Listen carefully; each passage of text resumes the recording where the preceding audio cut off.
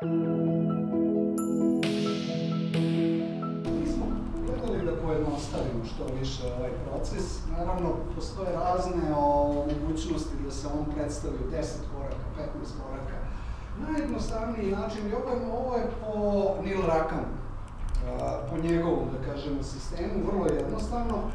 On kaže, postoji prva preliminarna faza otvaranja pregovora i to u onom nekom, jeste čuli za IDU, onu Attention, Interest, Desire, Action, to je osnovni princip uticanja na ljude, da imamo da ta preliminarna faza u stvari klijent, klijent postane pažnjiv, on obrati pažnju, odnosno fokusira se na to šta, šta je predmet komunikacije. Druga faza je otkrivanje i razvijanje potreba. U toj fazi klijent se zainteresuje. Jer onog trenutka kad on shvati da je njegova želja i potreba u stvari da, da napravite dogovor bilo koje vrste, to je onda za njega praktično interesovanje. I onda imamo treći korak je demonstriranje sposobnosti. Neil Rackham ovo namerno zove demonstriranje sposobnosti, a ne prezentacije. Premda je to vrlo slično. Jer šta vi radite u stvari sa prezentacijom? U prezentaciji vi, ako ste otkrili da klijent ima neke želje i potrebe, u prezentaciji vi pokažete klijentu da osobine vašeg proizvoda zadovoljavaju odgovarajuće želje i potrebe koje on ima. I zato on kaže demonstrirate sposobnost da mu rešite problem.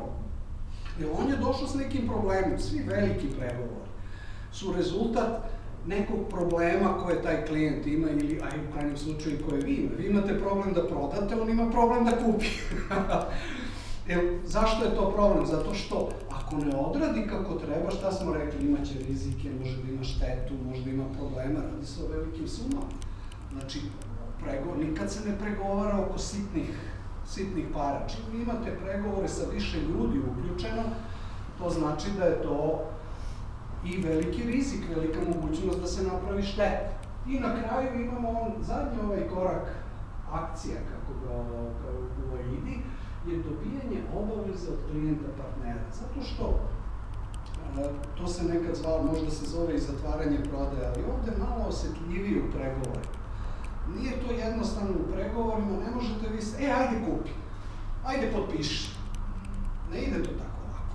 Kad imate ozbiljne pregovore, to je pre ovo dobijanje obaveze da ispuni baš ovo o čemu smo pričali. Znači, ne samo da potpiše ugovor, nego da se, da se on obaveže da taj dogovor će se ispoštovati. Da li ćemo to raditi tako što ćemo i lično da ga zamolimo da se obaveže svojom rukom, svojom rukom da napiše. Znači, da recimo vi to imate, u Americi ima, ne znam, u toj advokatskoj praksi, Nije dovoljan samo potpis, nego vi napišete I hereby i onda morate celu rečenicu rukom da napišete, da se obavezujete da ćete ispuniti sve tačke iz ugovora, pa onda potpis.